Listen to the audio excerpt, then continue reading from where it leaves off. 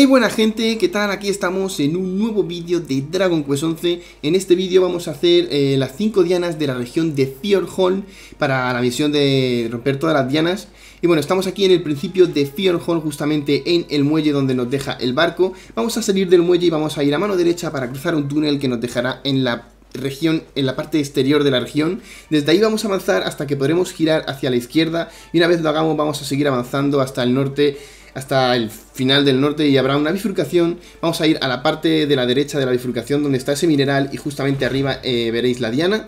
Así que la rompéis y tras hacerlo vamos a volver a bajar manteniéndonos a la izquierda hasta que veremos en el minimapa un huequecito chiquitito estrecho. Nos metemos en él y según giramos la cámara hacia arriba a la derecha veremos otra diana la rompemos y tras eso vamos a seguir bajando hasta la sección sur del mapa. Una vez estemos en dicha sección vamos a mantenernos hacia la derecha hasta meternos en ese huequecito que hay más metido a la derecha del todo en el mapa.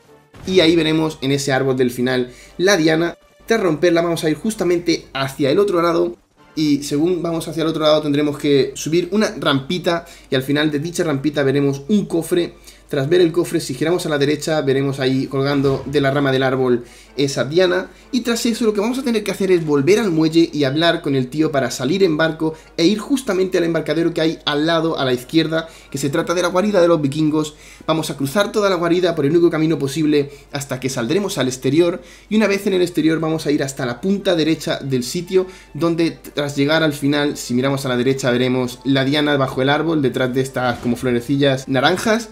Una vez la tengamos, vamos a volver como si quisiéramos entrar y veremos antes de la entrada al duendecillo. Así que le hablamos, nos dará nuestras cuatro simientes de destreza y completaremos eh, la zona consiguiendo así el título de especialista helado.